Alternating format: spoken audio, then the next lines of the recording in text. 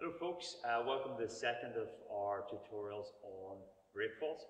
Uh, as I said in, in, video one, this is if you have a child and you're supporting that child, you want to understand how the break fall works so that you can give them a wee bit of assistance at home. And if you're a student, you want to get the basics right, get the foundation, get the, the functionality of the moves. And if you're a coach, you just want to maybe revise and maybe get a different slant on, on how something's taught. So what we're going to do is this time we're going to go through the front roll break fall. So we're going to do is we're going to stand to one side. Sometimes there, there's an element of fear when someone's learning to do a break fall because you're actually physically looking at the mats and most people have a fear of falling. So we want to get rid of that fear to start with. So we take it to the slowest point. If you're good at this, if you're adept at this and you know how to do it, then we don't need to do it this way. But if you are just starting out, what I want you to do is just put your hands down and get used to rolling. So head down, just get used to rolling over. Okay, so we're just going to do that again. We're just going to get used to rolling over. And if you're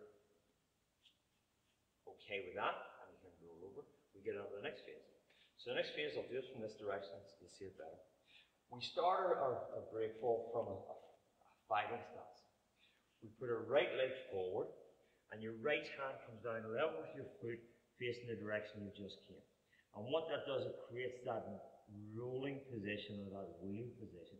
I'm going to, at this point, I'm just going to come down on the knee to make it easier. So what we're going to do is, from the hand to the elbow, to the shoulder, to the broad of the back, we want to create that wheel position and roll over. If your hand's in a wrong position, you'll see that you're going to hyperextend your wrist. That's not going to be good. So we want to turn. And what we're going to do is we're just going to get momentum and we're just going to roll over, use the other hand balance, and up. Okay, so again, we just take the simplicity of it. So from here, what we're going to do is hand down, and we're just going to roll over from our knee. Put your other hand down for balance if you need it, and just get a wee bit of momentum, and then work over, and you'll see it come over the bottom of that. Now, once you have that, we then start doing it from a standing position. Fighting stance. Right leg forward.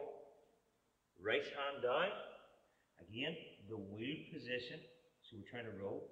Get a wee bit of momentum. And roll. Hand down for balance if need. Up. Now this time what we're going to do is, is we come up, we come up on our knee, we come up on our foot, then we turn through and into fighting stance. Okay, so try that again. Better from this angle, see it better. So, right leg, hand. We're starting that rolling position. As we roll, forearm, upper arm, shoulder, back. Up onto your knee and your foot with your foot pushed back as opposed to up like this. This is just for safety. Then we turn the foot up, we turn through into fighting stance.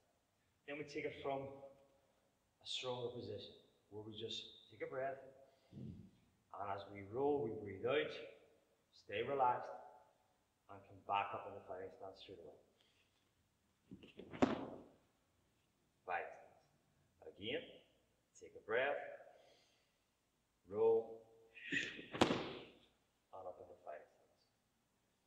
The roll should be smooth. You're not digging into the mat, you're rolling over the mat. And if you feel a sore shoulder or your neck sore from doing this, you're just not doing it right. So go back a level and get the basics right and then come back to this at a later stage.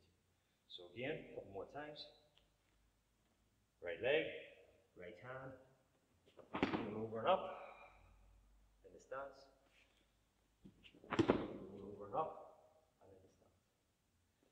So that's the basics. Very important. Don't go too fast too quickly. Don't try and do the last one.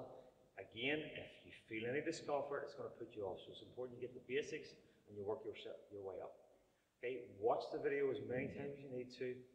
Practice as much as you can and get the functionality, and then we'll move on